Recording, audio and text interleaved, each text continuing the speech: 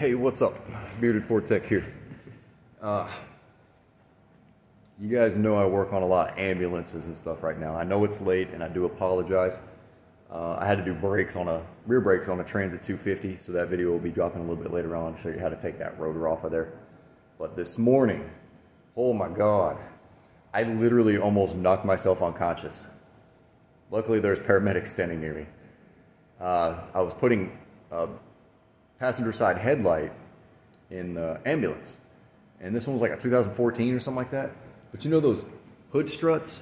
You know what I'm talking about? That hold the hood up? These things? These?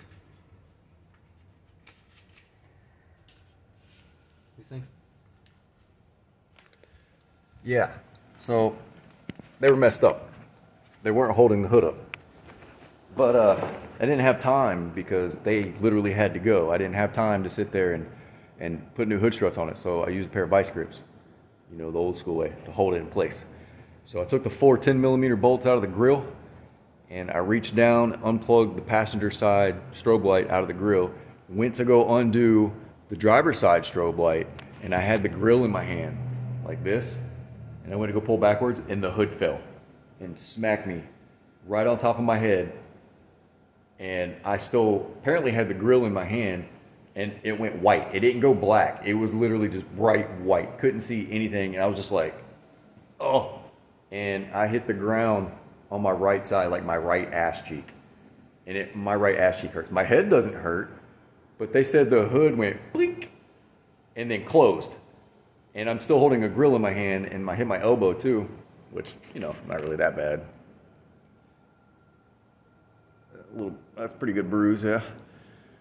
And uh, the paramedics were like, oh my God, Anthony, are you okay? And I stood up and I was like, yeah, I'm fine. What's going on? And they were like, dude, you just got hit by a hood.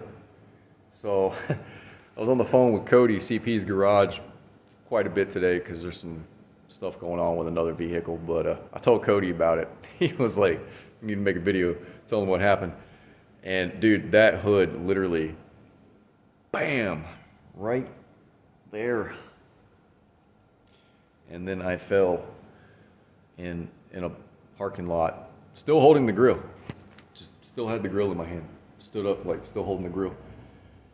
And they were like, "What would you have done if that was a beer in your hand?" Well, I guarantee you, I probably wouldn't have spilled it.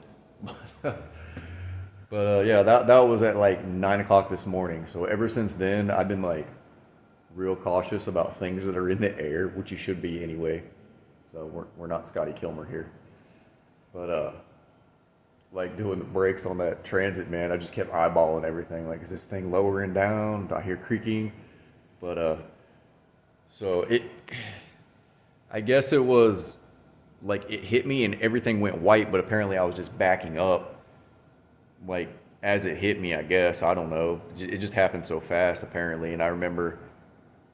I don't remember hitting the ground. I remember standing up with a grill in my hand, and the two paramedics that were in.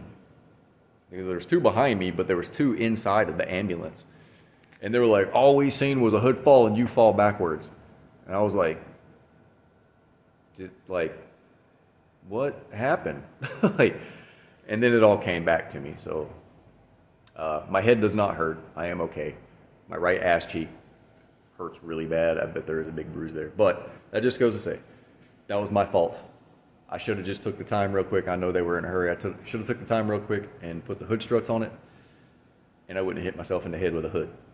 So uh, they did check me out though, make sure I was okay. So uh, kudos to them. Luckily, they were standing there. I could have been laid out in a parking lot, but uh, I love you guys. And there is going to be a video coming about the rear brake uh, pad and uh, rotor removal on a transit on the rear. And uh, I love you guys, and I'll see you on the next one.